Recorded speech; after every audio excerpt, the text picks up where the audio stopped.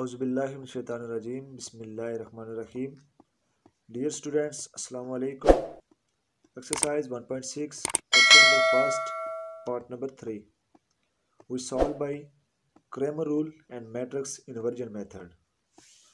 So let's start its solution. Writing equations in matrix form.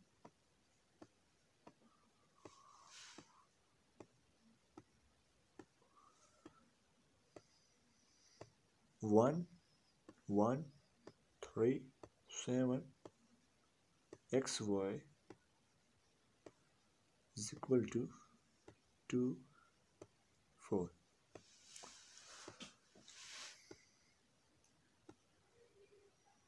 This one is a x b which can be represented by this one is a this one is x and this one is b. So x is equal to a inverse b. Because we find the value of x and y. This one is equation first. We find x is equal to a inverse b. So first of all a inverse. We need a determinant is equal to this matrix. We are multiplying by cross multiplication. 1 multiplied by 7 minus in formula 3 multiplied by 1 is equal to 7 minus 3 is equal to 4 is not equal to 0 so its singular solution is is non new singular solution. So its a solution exists. And number two adjoint of a. Adjoint of a is equal to matrix a.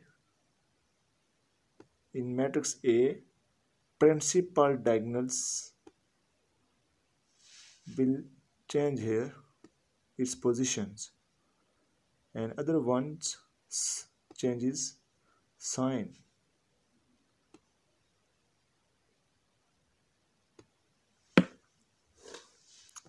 next we find easily a inverse is equal to adjoint a divided by a mod is equal to adjoint of a is like here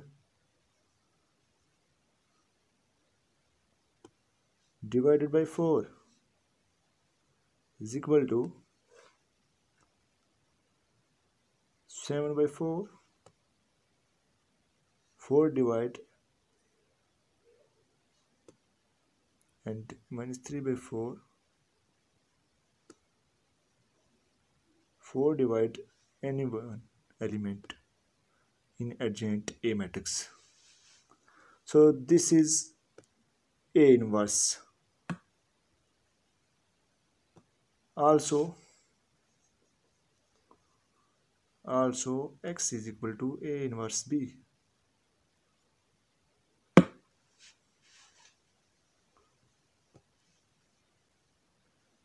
a inverse b is equal to a inverse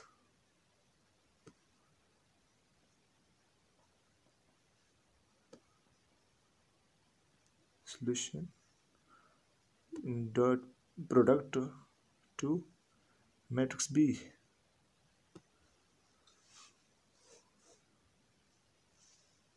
Multiplying first row, first column, second row, first column.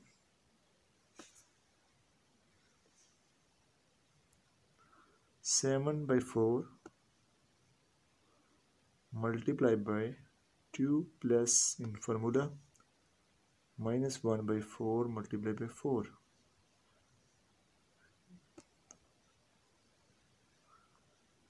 and minus 3 multiplied 3 by 4 multiplied by 2 plus in formula 1 by 4 multiplied by 4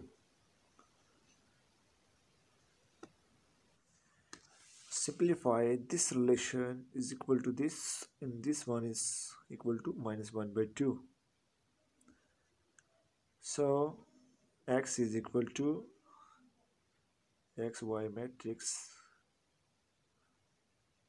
applies xy is equal to 5 by 2 minus 1 by 2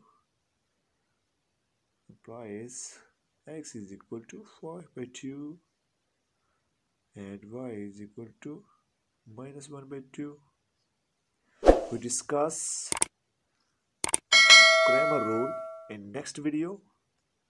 Goodbye